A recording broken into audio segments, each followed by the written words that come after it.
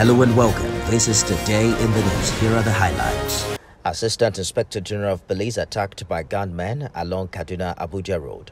Gunmen attack Federal School of Statistics in Kaduna. Lautech student reportedly abducted, killed by abductors after collecting ransom of 5 million naira. PDP asks Federal High Court Abuja to disqualify Governor of Gombe State and his deputy.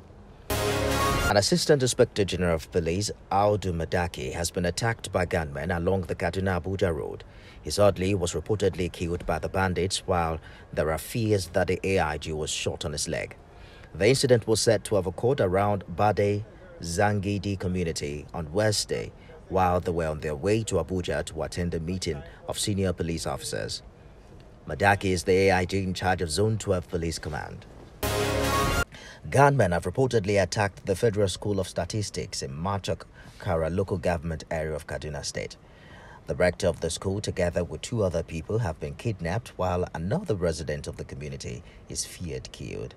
The bandits reportedly stomped the community in large number on Tuesday night and shot sporadically in the air before abducting the victims. A family member of one of the kidnapped victims on Wednesday told newsmen the bandits have contacted them and are demanding a ransom of 15 million naira. The Kaduna State Police Command is, however, yet to acknowledge the incident. A student of the Ladoke Akintola University of Technology, Rachel Opadele, who was reportedly abducted recently, has been killed by her abductors after collecting a ransom of 5 million naira. The Lautech student was killed alongside a fellow hotel staff, Olugbenga Owolabi, who was also reportedly kidnapped with the student. Opadele, before his demise, was a student of Lautech but was working at the hotel due to the ongoing academic staff union of university strike. The duo were said to have been abducted on 29th July 2022 at the hotel located in Aba area of Ogbomoso. The People's Democratic Party and its Gombe state governorship candidate Mohammed Barde has asked the Federal High Court Abuja to disqualify the governor of Gombe State, Mohammed Yahya, and his deputy Jatau Daniel from contesting in the 2023 governorship election for allegedly submitting forged certificates.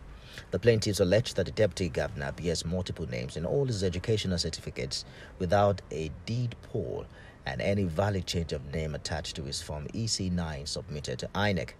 The plaintiff alleged that the governor, by his INEC form CF001, has stated under oath that between 1980 and 1990 he worked with AYU and Co. Limited.